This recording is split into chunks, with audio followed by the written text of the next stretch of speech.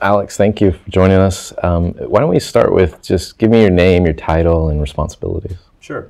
My name is Alex Ho. I'm Executive Director of Marketing at American Greetings. And what, what does that entail? Uh, we have centralized marketing at American Greetings, so that is consumer acquisition, CRM, social media, and also uh, retail marketing and consumer promotions. So you're winning an Effie for um, the world's toughest job. Tell me a little bit about the inspiration behind that campaign. Well, as you can imagine, the greeting cards business does run seasonally, so Mother's Day is a very important holiday. And uh, we had a new online business called Card Store, which is taking greeting cards, which consumers uh, find as one of the most meaningful connections, and making it even more meaningful through personalization. The problem is only 50% of people send greeting cards to begin with, and making something that's personal takes a little bit of extra effort. So we had to make the impetus to do that um, pretty strong.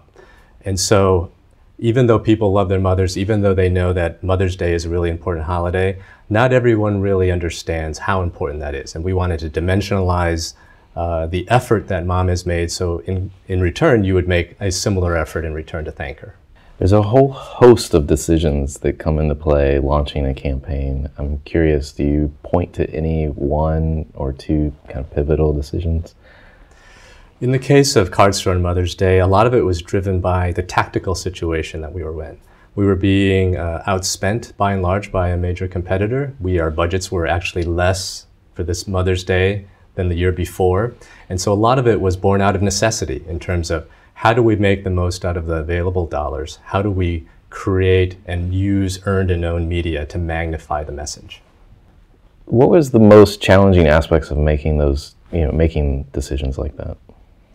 I think it's the, the biggest challenge is it's, a, it's an area that we had not really had a lot of experience in.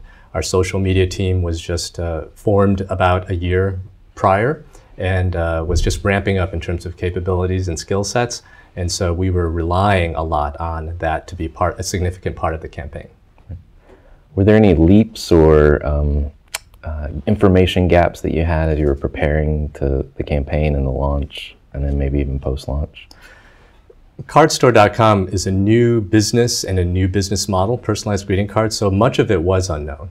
We were actually creating our own rule set and our, our own standards of what this category was about, and in turn, what kind of marketing we needed to do, you know, and, and what kind of consumer we were trying to reach.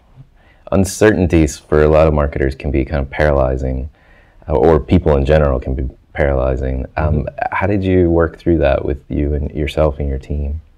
I think it requires a few things. Certainly, support of senior management, which we had. Certainly, the resources, both internally and externally, with our ad agency, needed to align with it. And uh, as, as I said, we, we, we developed a new social media team. We had an ad agency who was truly expert in that area. And so combine, and so making sure your resources are lined up with what you wanted to do is really important to predict success. Could we predict success or not? No. But in order to, uh, you know, in order to sort of give yourself confidence that this can work, you really need to make sure the right resources are there. So teamwork is important. How did you marshal that teamwork from all those different internal and external partners? Um, the culture within American Greetings already is one that's very collaborative and very team-based. And when we uh, looked for an ad agency, we looked for an agency with similar culture and, and sort of ways of doing things. And so the way we meshed and our agency partners were really, uh, and, and, continue to be just an extended team uh, uh, of our entire marketing team. And uh, there are very few lines in which we say something that they can't hear and vice versa. So really collaboration across agency, client, within the, within the company, across, uh, across functions is what really made this happen.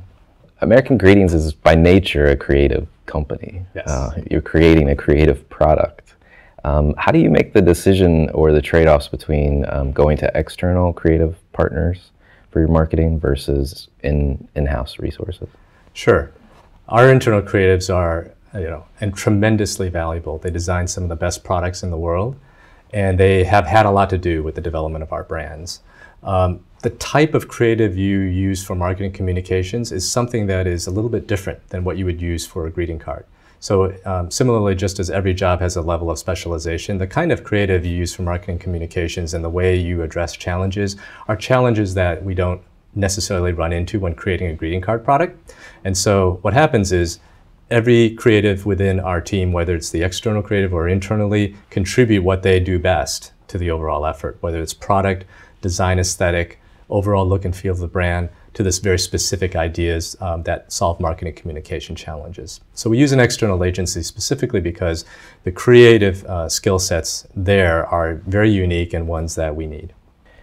So in the campaign, you're really focusing on this underappreciated mother or motherhood in its right. broader sense. Um, how'd you get there? How, how did that? What what made you focus on that aspect? Yeah, and the the idea that motherhood's really hard and you know it's a really tough job. That that's not a new idea. People have been saying some flavor of that for quite a while. The, the difference in this case is dimensionalizing in a way that is unexpected and people had really never thought of it in that light before.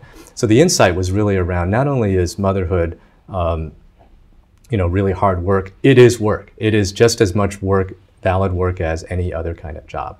And so by breaking it down and putting it in a new light around the, the amount of hours you put in, the, the amount of skill sets you need to have as a generalist, the same way somebody might interview somebody, made it sound like, uh, again, put it in the framework of a real job, which is something no one had ever thought of before. So very accepted idea, new lens to, to, to look at it, and it, and it set off a lot of light bulbs and clearly uh, made a lot of people interested.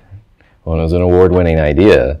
Um, what I'm curious, were there other ideas that um, were on the table as you were evaluating what to what to go forward with with the card store? There were. Um, I, we believe we were we had three concepts on the table, and the other concepts were much more in line with um, what you might consider um, sort of greeting card standards in terms of uh, you know really celebrating mom in a very positive light, and uh, nothing as uh, none of the work would uh, what I call uh, sort of trite or unimportant. They were all really good ideas.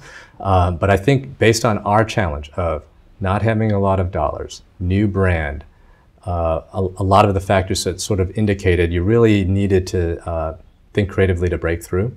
And so the idea that we biased may, was not as traditional within the category as the other ideas were. But that level of breakthrough we felt was needed and it was such a strong idea in and of itself that it, we felt that that was the right way to go. So you highlight people that are interviewing for this job. Were they real or actors? Yes, we get asked that question quite a bit. Um, the interviewer was an actor, of course, okay. who's professionally trained, but every single respondent was a real person.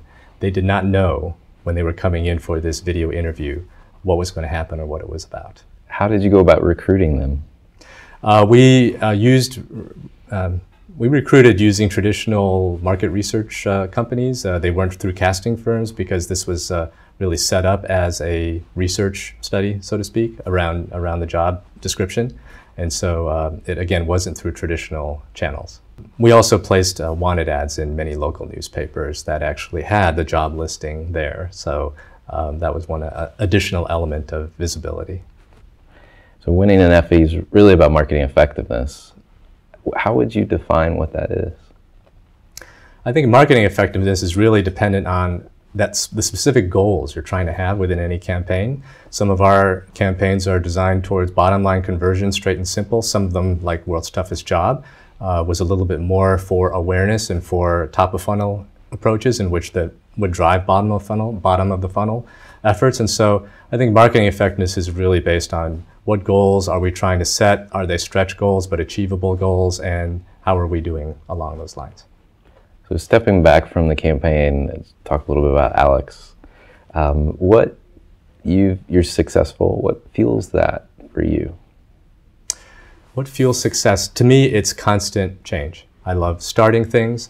Uh, for much of my career, I was gravitating towards things that really were things that weren't quite well defined. And um, at American Greetings, again, with this business model of online uh, personalized greeting cards, that's one example in which American Greetings is trying a lot of new things, and that really energizes me.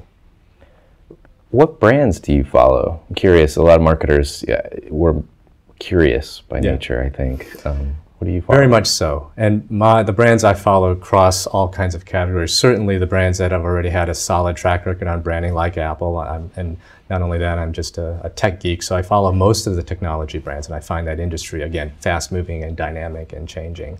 Uh, for the efforts that we are doing now, we take a lot of inspiration from Dove, for example, in terms of how they've used earned and owned media and in terms of building a brand. And that's the kind of space that we're in. So I also follow brands within consumer products who have uh, gone down a similar path or are doing it right now.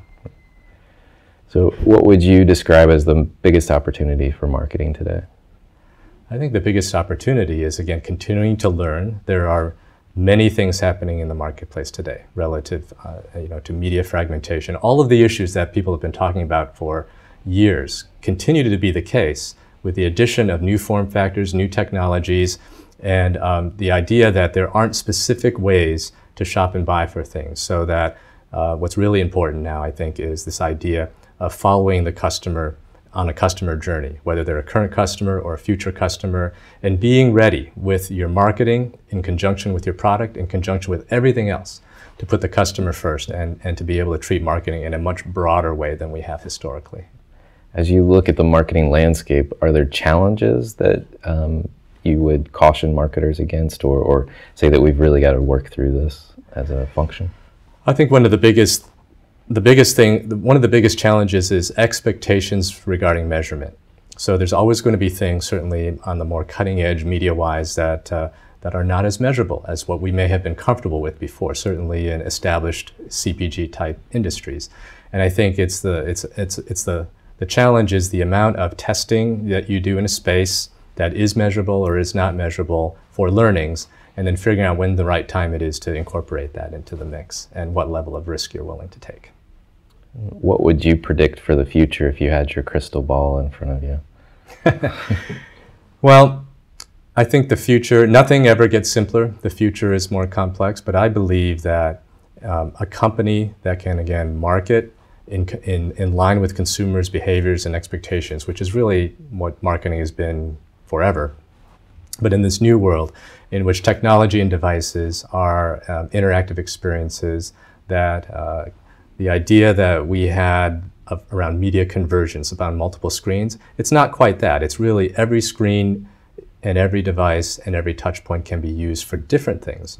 You know, your, your watch is not going to be only used for one specific purpose. It depends on the task, it depends on the need. So I think it's really understanding, again, within any given product or category, what the customer experience and the customer journey is, what our competitive advantages are, and be able to leverage that with a very tailor-made prescriptive kind of uh, solution. Well, thank you very much for coming in. Oh, my pleasure. Thank Thanks. you.